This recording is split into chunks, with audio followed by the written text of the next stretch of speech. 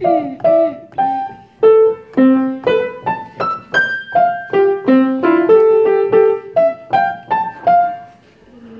Jeg skal vise deg.